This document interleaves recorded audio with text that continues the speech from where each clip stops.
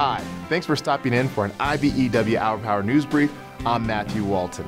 Today, we head to Midland, Michigan, where Local 692 is working on a ground up elementary STEM school. It's the first of its kind in the U.S. and a unique job for the IBEW. The reason it's different once all the electrical work is completed, it will be left exposed so it can be used as a teaching tool for young students in the science and technology classes.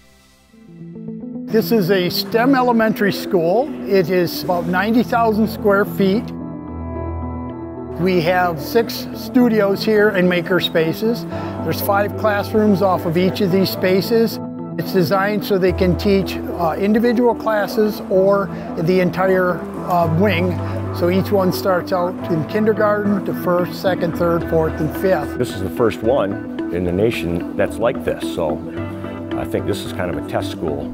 This is more of an advanced education than your traditional education, so they specialize in sciences, technologies, um, engineering, and mathematics. Uh, this one also uh, has a lot of design features that are unique where we've left everything exposed so they can teach all of the wiring, the piping, all of the things you don't see in your traditional schools. Everything's exposed on this project, so we, we really want to do a really good job on this over and above what we usually do because there's nothing hidden. Knowing the fact that a child might look up at the ceiling and see the conduit runs and the cable tray and all the electrical work that is done here and is done by union labor is really amazing. And it's a great feeling to know that they know that a union craftsman did this work here in this school and to see that the unions are really a skilled and a great trade to be in.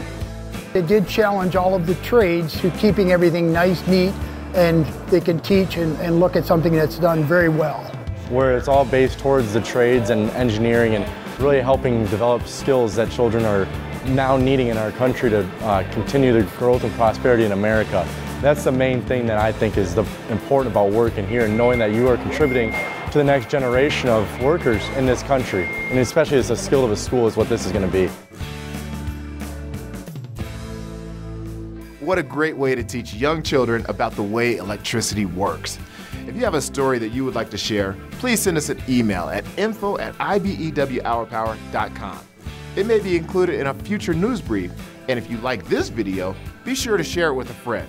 Until next time, I'm Matthew Walton.